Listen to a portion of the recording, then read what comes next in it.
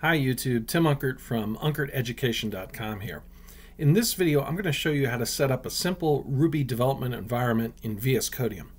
But first, if you like videos like this, where I show you how to set up software and how to install it, then make sure to subscribe. Okay, with that out of the way, let's get started. So I have this folder open called Ruby, and I have this test.rb file.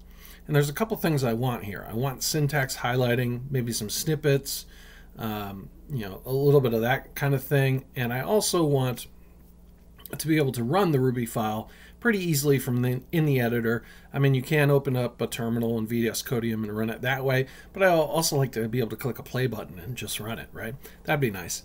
So I'm going to show you how to do that. So the first thing we need to do is go to these extensions over here, and we're going to click on the extensions. And the first one I'm going to search for is VS Code Ruby.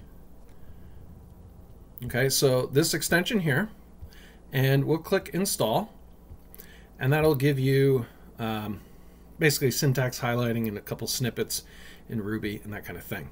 Okay, and that's now available for VS Codium, even though it says VS Code Ruby. Pretty sweet. Okay, um, the next thing I want to install is Code Runner, and that's going to allow me to run the code.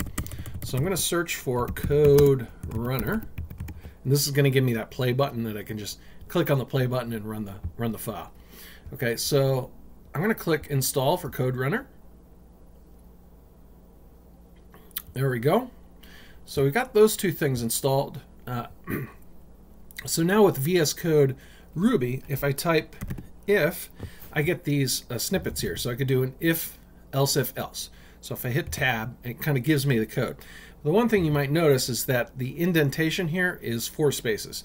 Now the standard for Ruby is typically two spaces, so we can change that easy. I'm going to do a control comma to get up, open up my settings.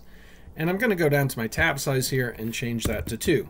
Okay. All right, so now I'll go back here. I'll undo this. And if I do my snippet now, you'll see that the spacing is now at two spaces. Okay.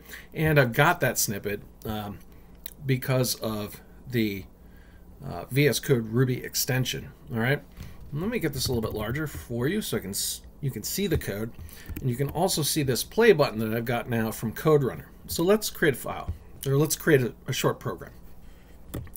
So I'm going to say something like if name uh, double equals Tim. Let's do it in caps here. Uh, then what I'm going to do is I'm going to put um, hi, and then Let's use some string interpolation. We'll say hi Tim, or hi name rather. Right, this is a variable is called name, okay? And then we'll say else if name uh, double equals Joe. We'll do something like puts bye, and then we'll do the same thing, string interpolation, and I, I did it again. We're going to use the variable name.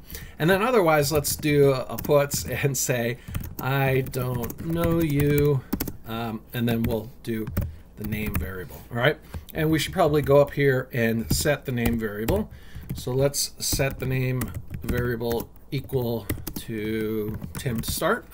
Okay, I'm going to save this and then I'll press this play button and you see it runs it and it produces hi Tim.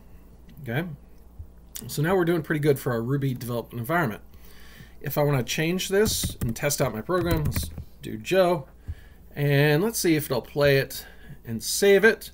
No, so we have to save it first, so just keep that in mind. But if we run it now, we get bye Joe, okay? So let's change it one more time to Billy. Save it and run it.